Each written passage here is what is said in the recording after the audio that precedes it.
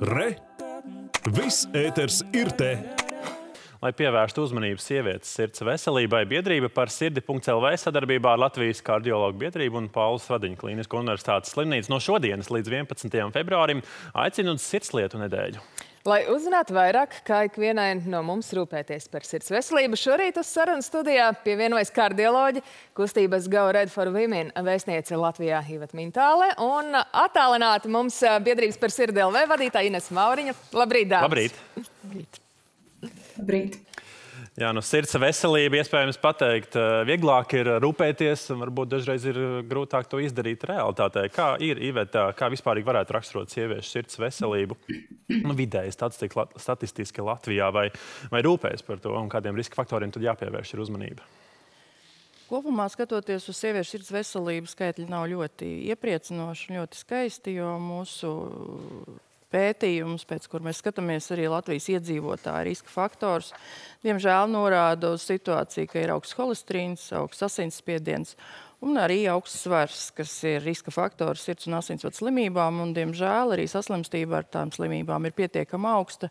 Līdz ar to um, šis ir tas brīdis, kad mēs gribētu atgādināt, ka par to ir jādomā, un jādomā nevis tajā brīdī, kad sāp, nevis tajā brīdī, kad jau viss grūst, bet laicīgi un ļoti, ļoti agri. Runājot par dažādiem eh, veselības tematiem, nu atkal un atkal un atkal mums ir jāatgriež pie tā, ka rādītāji Latvijā ir slikti. Uh, viens, protams, ir dažādas um, ārstēšanas politikas iespējas un tam līdzīgi, bet otrs ir arī cilvēku paša atbildība un sekošana līdz savai veselībai. Ko jūs redzat savā kārsts ikdienā par to atbildīgu attieksmi pret sevi? Ikdienā mans darbs ir pārliecināt cilvēkus, domāt par sevi, saprast savu veselību un saprast, kā viņi gribētu justies pēc 10, 20 un 50 gadiem. Jauniem cilvēkiem tas liekas tālu un nesasniedzami un nevajadzīgi, bet patiesībā tas ir tas brīdis, kad jāsāk par to domāt. Vecākiem jādomā par saviem bērniem.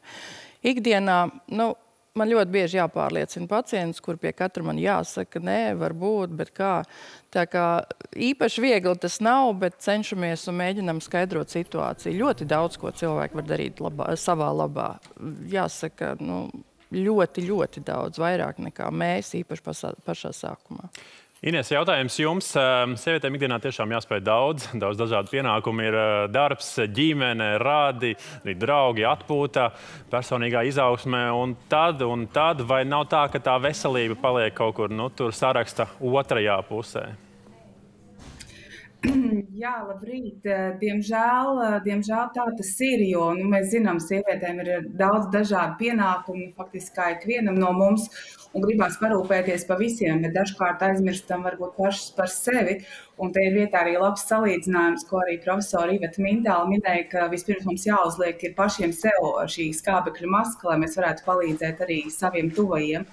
Un tieši tāpēc mēs mudinām sievietes, dāmas, ikvienu parūpēties par savu sirds veselību saulēcīgi un to darīt gan pašām, jo katrs pats mēs varam gan pārbaudīt savu pulsu, izmērīt asinsspiedienu, bet noteikti arī pakonsultēties ar savu ārstu un sākt ar savu ģimenes ārstu, sākt ar analīzēm, lai saprastu, vai viss ir kārtībā. Un pārbaudīt gan holesterīna līmeni, gan asinsspiedienu, pārbaudīt savu pulsu un cukura līmeni. Tie ir pirmie rādītāji, ar kuriem vajadzētu sākt, lai pārliecinātos, vai viss ir kārtībā.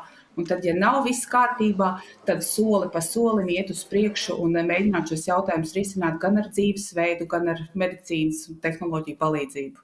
Jā, profesorai jautāšu, protams, viens ir pārbaudas analīzes, otrs vai ir tādi, nu, vai varat minēt tādus, nezinu, sarkanos karogus, brīdinājumu zīmes, kas liecina, nu, ka tiešām šodien pat vai rīt ir jāiet pie ārsta man jāpakonsultējas.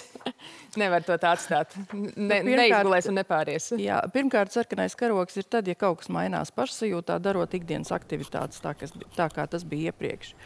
Otro, otrkārt, nu, ja jāmaina ir izmērs un, un jāpārliek josta drusciņi tālāk, atkal jau vajadzētu sākt domāt, vai tas ir pareizi un vai tas ir nepieciešams. Un treškārt, um, nu, ir tādi brīži, kad vajadzētu paskatīties un zināt to savu sākuma pozīciju bāzes situācija, jo katrs mēs neesam ideāli un katram mums ir sava vājā vieta. Un tad sākumā apzināt, kas ir tas, kam būs jāpievērš šodien vai rīt vairāk uzmanības. Un tad jau ir skaidrs, jo darīt mēs varam ļoti daudz ko. Jāzina tikai, kas tā par situāciju un ko. Cik liela nozīme ir iedzimtībai, nu, respektīvi, ja ģimenē ir bijušas teiksim, sirds problēmas, vai tas ir paaugstināts risks, un tas nozīmē, ka vēl vairāk uzmanības ir jāpievērš savai sirdsapziņai? Jā, tas ir augstāks risks. To mēs uzskatām par riska faktoru, īpaši, ja ģimenē jaunā vecumā ir bijušas katastrofas kā miokarda infarkts. Bet no otras puses, gēni tomēr nosaka apmēram 10% no tālākas iespējamās saslimstības un slimības smaguma. Mēs varam ļoti daudz ko izdarīt ja mums ir slikti gēni, uzlabot situāciju. Nu, jāsaka, diezgan viegli ir sabojāt labus gēnus. Mēs jau minējām, ka šodien, no šodienas līdz pat 11. februārim noritēs sirdslietu nedēļa. Ines, jautājums jums, ar ko sāksiet šo nedēļu, kādas aktivitātes iecerētas kopumā, lai tad pievērstu uzmanību sievietēm rūpēties par savu sirds veselību? Jā, nu, eh, diemžēl nevaram tikties eh, klātienē, tā kā mēs to gribētu arī ar, ar dāmām, un esam darījuši arī citkārt atzīmējot sieviešu sirds veselības dienu. Bet šodien mēs aicinām, šodien pulkstenes 12. uz eh, tikšanos nu, neklātienē ar profesoru Ivetu Mintāli un ar profesoru Andreju Ērkli, lai parunātu Facebook tiešraidē par SirdLV, par SirdLV mājaslapā. Varēs sekot līdzi par visiem jautājumiem, kas satrauc sievietes par sirds veselību. Un eh, būs iespēja arī uzdot jautājumu. Tā kā aicinātu katram izmantot šo iespēju pieslēgties pulkstenes 12.